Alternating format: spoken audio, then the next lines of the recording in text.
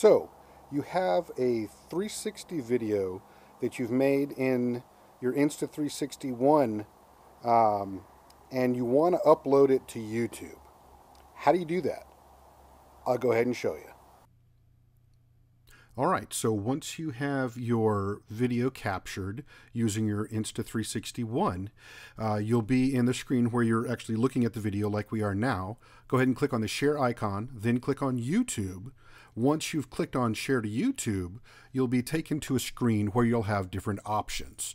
Uh, you'll be able to see a little preview of yourself down there, and then once you've selected that, you can go ahead and type in your description here I'm just going to say how to share, share to YouTube. Once you've entered that, then you can select resolution. Different resolution options appear. Uh, I chose 4K on this one. Then you go ahead and click the share button. It'll go through and it will uh, compress the video into the format that you've selected and sometimes that can take a little while. Uh, this was a very short one so it's only going to take a few seconds. Uh, once that's done, it'll give you the option here where it says video has been exported to iPhone album.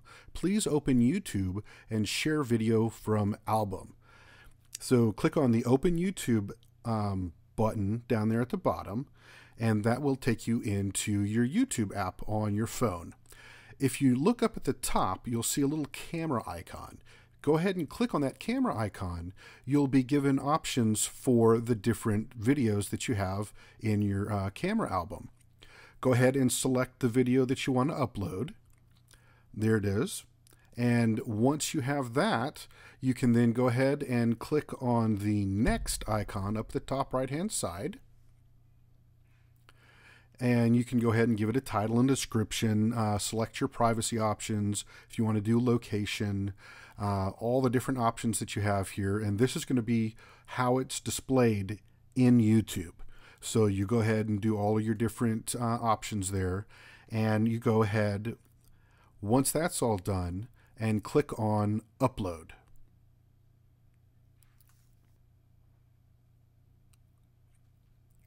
And also, again, here, depending upon how long your video is, it could take quite a while for it to upload and then um, do whatever post processing that YouTube does. So I'll just go ahead and fast forward through this section.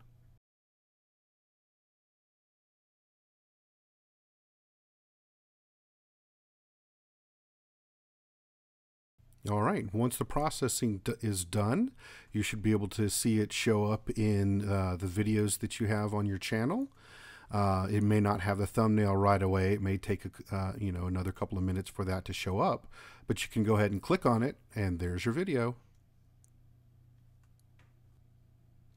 It may also take a little while for the uh, the full video quality to uh, be included as well.